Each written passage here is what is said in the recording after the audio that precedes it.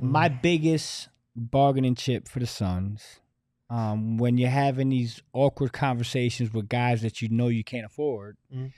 is to sit them down and show them as much tape as I can on Grayson Allen. Hank McCoy.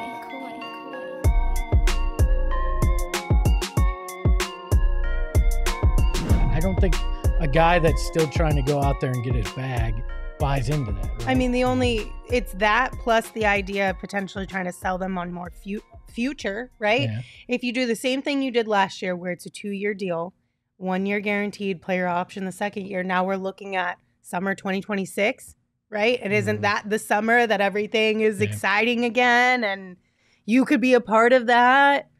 That's true. I don't know. I'm just saying, if you're a salesperson and that's what you're trying to do, that's that's where you go because that's what you that's what you My- have to my- go to. My biggest bargaining chip for the Suns, um, when you're having these awkward conversations with guys that you know you can't afford, Mhm. is to sit them down and show them as much tape as I can on Grayson Allen. Mhm. That's that's what I'm doing. Here's how you can make your. Here's how you can make your money. Mhm. Here's how you can go from a guy that's a mid-level guy to a 20 million a year guy um, in the system with these guys. If you come here and you capitalize on it, is it worth doing that for one year? Uh, you know, one year risk to try to bet on yourself. I, I, I wouldn't be shocked if there are a handful of players that would consider that. Do Mhm. they actually do it? But um, yeah, I mean, I mean, that's a good point that I didn't think of. Is yeah, you could maximize that next deal by coming in here and maybe having an easier path to having a greater success, like Right. uh, like you saw with Grayson. I just think that that's that's a tough sell. It's not like I mean, if James Jones came in and did the Pat Riley drop the rings on the table thing, I don't think it works the same way Okay. as uh, as Pat Riley. But it's also like the same way that teams will look at a player who's gone through a couple different stops. And Be like, oh, but in our system, with my with my guidance, maybe this guy can take the next step forward.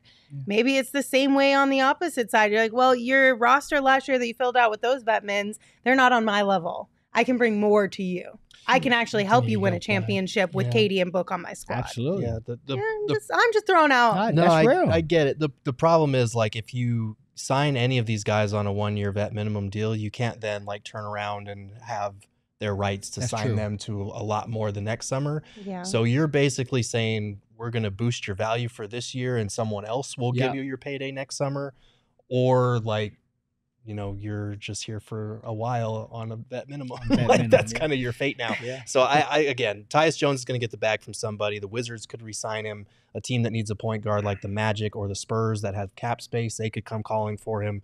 I don't think it's going to happen, but he is a guy that's that would take the ball out of the big three's hands in terms of orchestrating the offense. But when they do have the ball, he could also be a spot up shooter as well.